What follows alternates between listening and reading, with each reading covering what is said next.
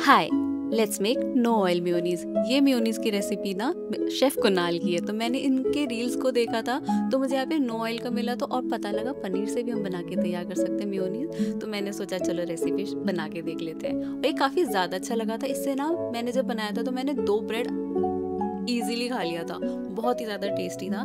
तो यहाँ पे हम सबसे पहले ले लेंगे 200 ग्राम पनीर पनीर को डाल देंगे हम थोड़े थोड़े चॉप करके।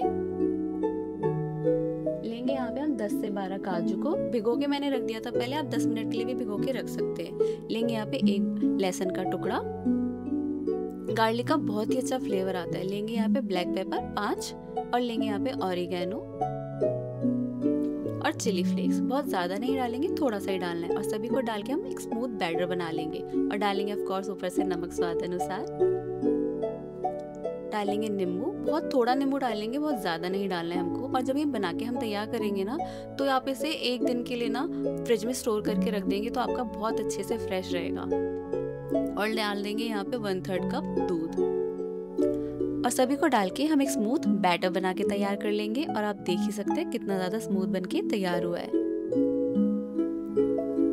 गाइस, अगर आप मेरे चैनल में नए हो, अभी तक सब्सक्राइब नहीं किया है तो प्लीज़ मेरे चैनल को सब्सक्राइब कर लीजिएगा। अगर आप चाहते हैं कि मैं बड़े बड़े शेफ्स की रेसिपीज़ को रिक्रिएट करूँ तो आप मुझे कमेंट सेक्शन में ज़रूर बताएँ।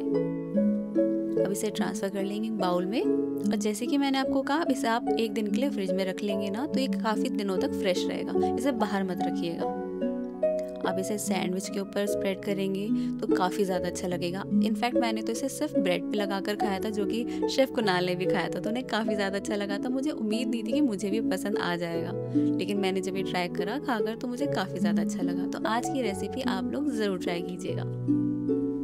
तो कैसी लगी आज के शेफ कुनाल की रेसिपी, मुझे कमेंट सेक्शन में ज़रूर बताएँ। वीडियो अच्छी लगे तो वीडियो को लाइक और अपने दोस्तों में मेरी रेसिपी को ज़्यादा से ज़्यादा शेयर भी कीजिएगा। तो मिलते हैं नई रेसिपी के साथ।